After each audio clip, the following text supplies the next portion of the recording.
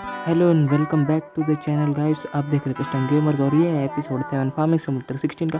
तो आज की वीडियो में हम लोग बाय करने वाले अपने फ़ार्मिंग इक्विपमेंट्स तो फटाफट से वीडियो को कर देते हैं स्टार्ट और यहाँ पे इक्विपमेंट्स कौन से कौन से बाय करने हैं, अपने को एक कल्टिवेटर सीडर बाय करना है। तो यहाँ पे कल्टिवेटर हमने बाय कर लिया और सीडर भी हम जल्दी से बाय कर लेते हैं। यह रहा ये रहा सीडर और इसे भी बाय कर लेते हैं। और ये अपना ट्रैक्टर आ गया नया वाला।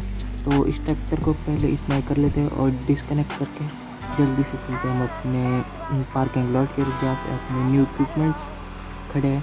तो यहाँ पे मैं पहुँच गया हूँ अपना पार्किंग लॉट की तरफ़ और यहाँ पे क्या नए नए, एकदम खतरनाक वाले इक्विपमेंट्स लगे हुए तो जल्दी से जल्दी इनको लेके।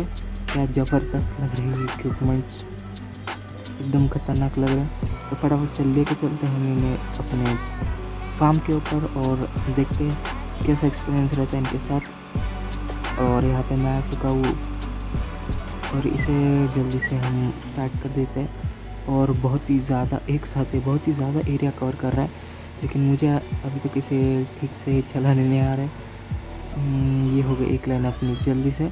और हम पूरा इसे ख़त्म भी कर देते हैं। बहुत बहुत ज़्यादा तेज़ है। और यहाँ पे हो चुका है। अभी फटाफट से इसे रख देते और जाते हैं अपना दूसरा सीडर लेने के लिए। तो यहाँ पे जल्दी से चलते और यहाँ पे हम पहुँच गए और जल्दी से इसे कनेक्ट कर लेते हैं। कनेक्ट क्यों नहीं हो रहा है? तो यहाँ पे इसके अंदर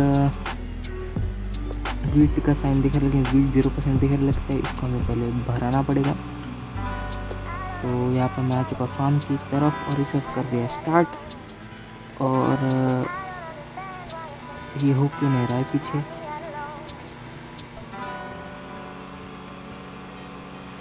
इसे मैंने फिल ही नहीं किया। अभी फिल करने के बाद लेकिन मैंने इसे फिल ही नहीं किया। अब फटाफट से इसे फिल कर देते हैं। और इसकी स्टोरेज कैपेसिटी भी बहुत ज़्यादा है पिछले वाले के मुकाबले। तो आगे हम फार्म पे फटाफट से स्टार्ट कर देते हैं। ये वैसे तो थोड़ा छोटा है कल्टीवेटर से, लेकिन पुराने वाले से काफ़ी ज़्यादा बड़ा है। सबसे मतलब ज़्यादा तेज़ काम हो जाएगा अपना। और यहाँ पे ज़रा मुश्किल है इसे चलाना, लेकिन कोई बात नहीं, हम धीरे धीरे करके सीख लेंगे। यहाँ पे आगे हम मुझे थोड़ा सा स्ट्रीट चलाना है। तो जल्दी से कर देते हैं हम इसे ख़त्म। अरे भाई साहब, ठीक से चला लेता हूँ। ठीक है, ठीक गैस अब तक यहाँ तक वीडियो देख ली और लाइक नहीं की तो लाइक कर दें। चैनल पर नहीं तो सब्सक्राइब कर दो जल्दी से। और यहाँ पे इसे मोड़ने में ज़्यादा परेशानी हो रही है बहुत। ये कुछ आखिरी बचा, इसे भी कर लेते हैं।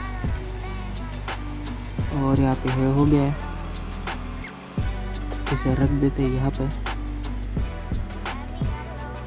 क्या खतरनाक लग रही है ये दोनों चीज़।